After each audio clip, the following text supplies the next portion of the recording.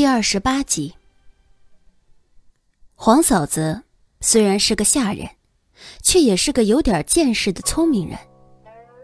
她转过头瞅着卢莹，对上他温温和和、从从容容的姿态，一时分不清他是有意施为，用这一招令得所有人对她改观呢，还是他的脾气本就是这样。这般轻而易举便把自己的名声搬转过来，其中没有手段，只是本性而为。糊涂了一阵，黄嫂子笑眯眯的唤道：“哼，阿莹。”卢莹转过头来，她抿着唇看着黄嫂子，似是因她刚才的帮忙，有点拿不定主意如何对她了。倔了一会儿，卢莹勉强一笑后。低声说道：“啊，多谢嫂子刚才直言。时辰不早了，阿英得走了。”说罢，他转过身，朝着蹲在三百米远的一个摊子前，也不知看什么看得无比入神的卢云走去。目送着卢云的背影，黄嫂子若有所思，也没有叫他。不一会儿，卢莹来到了卢云的身后。这个摊子，厚厚的鼠段上，摆的是一溜的石头。这些或光滑或明润的石头被雕刻成各种形状，虽然粗陋，却也极有味道。而低着头的卢云则拿着一把雕刀，小心翼翼地雕着一块巴掌大的石头。他的表情十分专注。卢云都走到面前了，还一无所觉。而那摆摊的年约二十来岁、身材消瘦的汉子，此时正蹲在卢云面前，专心致志地指导着他怎么下手。看到因为专注而目光明亮的卢云，卢云一怔。他还是第一次发现，原来读书时喜欢东张西望的弟弟，也有这么专注的时候。转过头，卢莹看了看太阳。见时辰还早，也就不叫他了。他转过身，在一个一个的摊位前流连起来。一边走，卢英一边沉思着。刚才那黄嫂子虽然帮了他，可他给卢莹的感觉并不好，似乎他今天是有备而来的一样。有备而来，他为了拉近与他的关系，还是另有目的？寻思了一会儿，卢莹冷冷忖道：“明天我就去打听一下张寡妇提亲之事。如果那张氏少年不曾被人挑拨，也就罢了。”转悠了一会儿，卢莹突然听到身后传来一阵惊天动地的嚎哭声：“ 老天爷呀！你怎么不打个雷劈死这个畜生啊！”天天吃我的，用我的，老娘拿这么几个钱都不行，老天你开开眼呐！这嚎哭声太响太亮，一时间都把四周的人吸引了过去。卢云本是没有兴趣的，回头一看，却陡然发现，哭声传来的方向竟然就是刚才卢云所在的地方。卢莹漫步走近，随着他走近，那个妇人哭得更凶了。他一屁股坐在地上，手掌在自个儿的大腿上拍得啪啪作响，而那惊人的音量更是震得人耳膜生疼。推过人群，卢莹一眼看到了被围在中间的卢云。此刻，他正瞪着一双乌黑的眼，气愤地瞪着那妇人，小拳头握得死紧。等那妇人哭嚎了一阵吸气时，卢莹听到他弟弟在一侧叫道：“你这个人怎么这样？前兄赚的这几个钱，只是想读一些书。”不等卢云说完，那个肥胖小眼睛的三十来岁的妇人突然来了一声震耳欲聋的惨嚎，一声嚎叫把卢云的话打断后，那妇人拍着自个儿的大腿，指天指地的骂道。还有没有天理呀！畜生啊，畜生！还鼓动外面来的小畜生来对付自家嫂嫂！畜生啊，你怎么就不叫雷劈了呀？卢云哪见过这种阵仗，气得俊秀的脸都扭曲起来。这时，他一眼瞟到了站在人群中的姐姐，先是双眼一亮。卢云刚刚向卢云走出一步，突然心中咯噔一下，想到：不行。我姐姐没了婚约，要是被这个妇人把脏水泼到我姐姐身上，那就不好了。想了想，他咬牙站在原地不动了。把他的小动作都看在眼中的卢莹，却是双眼一亮，由衷的开怀起来。他就知道，他的弟弟很聪明。以前卢莹还总是担心，弟弟天性淳朴。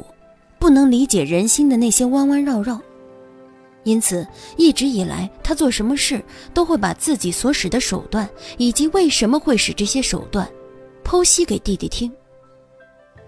现在看来，他的弟弟真的成长了。卢莹心情舒畅，笑逐颜开时，被那泼妇一口一口骂成畜生的瘦削青年，耸拉着脑袋，一动不动地坐在地上。只是他紧紧抓着三枚铁钱的手，在那里颤抖着。那肥妇人嚎了一阵，又朝那青年紧握不放的手看了一眼，再次抢天抢地的痛哭起来：“畜生啊，畜生！老天，你打个雷劈死这个畜生吧！我给他吃，给他穿，辛辛苦苦的养大他。”他倒好，几个铁钱也舍不得孝敬嫂嫂啊！在那肥妇人惊天动地的尖嚎声中，卢莹听到几个声音议论着：“这是下河村的孙二郎。孙二郎也是个可怜的，摊上这个泼妇嫂子，天还没有亮就出来做事，赚到的钱还没有到手，这妇人就跟上去讨要，不给就这样嚎。”有时一天都要嚎上几次。别听这妇人的，你看他那一身的肥肉，他家里的几个崽子也个个长得肥，就指这个孙二郎吃不好穿不暖。哎，这恶人，占了孙父留给二儿子的十几亩良田不算，还把人往死里使唤。这不，为了两三个铁钱，嚎得这么起劲儿。汉阳街就是这样好。地方小，十里八乡的总能遇到熟人，听到身边你一句我一句，不过片刻，卢云也就把事情了解个一清二楚。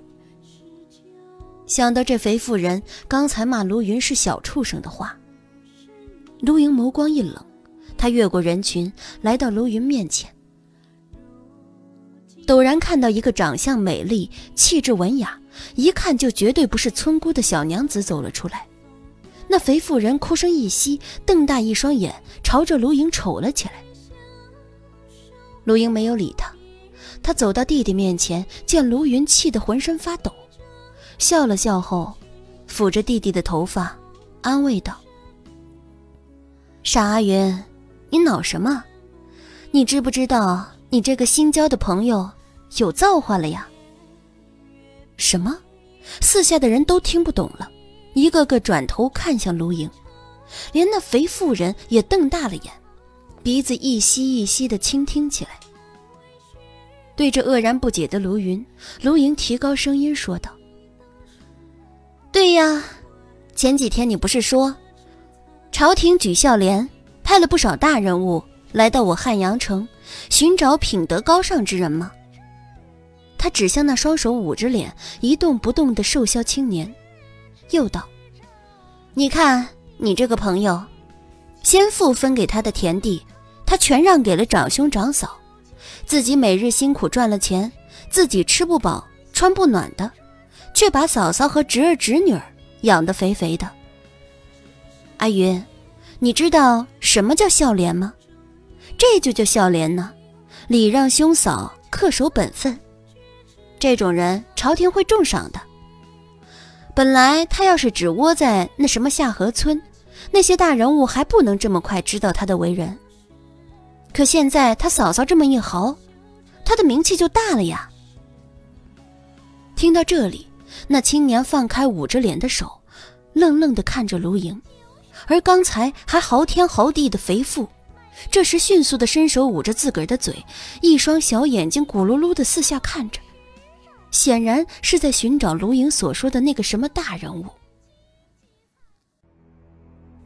您正在收听的是由喜马拉雅 FM 出品的《凤月无边》，作者林嘉诚，演播太太子。卢云倒也聪明，他这时反应过来了，当下噔噔噔的跑到那青年面前，说道：“钱兄，我姐姐说的对，你不知道啊，五年前规划城被举了孝廉那个。”还没有你做的多呢，他也只是把家里的田地让给了兄嫂，可你猜后来怎么着？他被朝廷征用，去年时衣锦归乡，那个浩浩荡荡啊，都是人啊、马车啊什么的。那贵人去了老家，说是感谢乡邻这些年的照顾，整整送出了五十车的东西呢，那可是五十辆马车的东西啊。卢云这孩子编起的故事还挺有一套。不但活灵活现，还眉飞色舞的激动无比。在这集市中出现的，很少有什么大户人家的郎君姑子，一般都是乡村庶民。而这些人所说的都是些家长里短，哪曾听过这些高端人的故事？当下一个个凑上前，津津有味的听着，寻思着回到村里也好吹嘘一二。罗云一边说，一边又叫道：“后来他们村里的人都得了厚礼，只有他那什么嫂嫂，什么也没得到。你猜那嫂嫂怎么想？她不甘心呢。人人都说他家出了大贵人，他的孩子也闹着要礼品，还想到洛阳去享福。于是那嫂嫂便跑到那大贵人面前，跪在他面前哭啊求啊。强哥，你猜那贵人怎么办的？怎么办的？”问的不是姓钱的青年，而是旁边听故事听得起劲的乡民。见有人捧场，卢云俊秀的小脸都红彤彤的了。他大声道：“那贵人呐，他让乡亲拿来一个碗，然后在那碗里盛满水，然后他把那水倒在泥土上，对着他嫂嫂说：‘你把这些水原样不动地收进这碗里，我就原谅你。’”还带你们一家人到洛阳去享福。故事说到这里，四周起了哄。那水倒了，怎么还收得起来呢？就是，这不可能嘛！嗡嗡声中，卢云点头道：“对啊，这不可能。所以那贵人只是带走了几个一直帮助他的邻居，把他兄嫂留在农村里受穷。哎呀！”听说那贵人离开不久，他兄嫂便病了，他们的孩子啊也没人理会。据说那女儿都定了亲，还被人退回来了。故事讲完，四下安静之后，便嗡嗡声大作。众人一边感慨那个恶有恶报的兄嫂，一边时不时拿眼瞟向那肥妇。对上众人的目光，想着卢云所说的故事。肥妇突然慌乱起来。这些年，新帝以孝和德治天下。关于那些礼让族人的人得到举荐成为孝廉的事迹，他时有耳闻，可就是没有想到有一天这件事儿也有可能摊在他自己头上。见到那肥妇，一张脸一阵青一阵白。看向自家小叔子的眼神也渐渐染上了几分惶恐和讨好。卢英一笑，他牵着弟弟的手朝外走去。卢云一边与那姓钱的青年告辞，一边跟在卢莹身后向外挤去。不一会儿，姐弟俩便出了市集。一离开人群，卢云便摇头晃脑，一脸得意地说道：“姐，我刚才的故事。”讲的好不好？卢莹点头，揉搓着弟弟的头发，笑道：“ 讲得好。”在弟弟郁闷的嘟囔中，他又笑道：“ 阿云真聪明，知道讲话要三分真七分假才让人相信。得到姐姐的夸奖，卢云大为得意，他神气的昂起了头，走起路来都像在蹦跳。不过经过这么一耽搁，回到家中，夜幕早就降下来了。卢莹忙着生火煮饭，当姐弟俩吃完饭时，十六的圆月已亮堂堂的照在屋里屋外。这时，隔壁消音再起。卢英来到院子里，一边倾听着消音，一边寻思着白天发生的事。就在这时，箫声转细，渐渐弥散在月光下。卢英不知不觉中发现自己站在了昨天所站的围墙边上。刚刚背靠着墙，卢英猛然清醒过来。他转过头，眸光清冷的看着那厚厚的围墙，想到。这世间百般苦楚，都是因为人生了妄求之心。我与他的家世差了千里万里，此生万万不可能成为夫妻。既然明知无望，又何必放任自己沉沦下去？想到这里，卢莹慢慢退开，仿佛心有灵犀，几乎是他一动，那边阴澈清冽中夹着欢喜的声音已然唤来：“阿莹。”唤了一声，他又唤道：“阿莹，你在吗？”阿莹。陆英停下了脚步，他转头看着那厚厚的泥墙，好一会儿才说：“明月虽好，春风不许。”只有八个字，只说了八个字。为了让他听清，卢莹微微提了些话。话也是一字一句说出来的。他话说出来是简单，可不知为什么，在说出这八个字时，一种难以形容的怅然若失，还是涌出卢莹的心头。这种怅然，无关情爱，也许只是一种说不清道不明的少年情怀而已。卢莹行事向来果断，丢下这八个字后，他转身就走。当他走到院落中时，却听到身后传来一个清楚的低唤声：“阿莹。”陆莹回头，他对上的是那个爬到了墙头上，正痴痴的向他看来的俊美少年。在卢莹回头对上他双眼的那一瞬，他清楚的看到。少年那如水墨渲染而出、层层叠叠、极为神秘美丽的眸子里，竟有泪光隐隐。他要哭了，这个念头令得卢莹失去了力气，再也无法决绝地回去房中。少年望了他一会儿，垂了眸，动作利落地爬到墙头坐好，然后。他把箫放在唇边，呜呜咽咽地吹奏起来。箫声飘转如梦，带着难以形容的恐慌和祈求，婉转百回的，缠缠绵绵地绕上来。而就在卢莹忍不住驻足回眸时，少年扇动着长长的睫毛，眸光清亮无比地看着他，一瞬不瞬的。这时的他。哪里还有半分刚才的悲伤？便是一向自以为敏锐的卢莹，也对自己说：“原来刚才看错了。”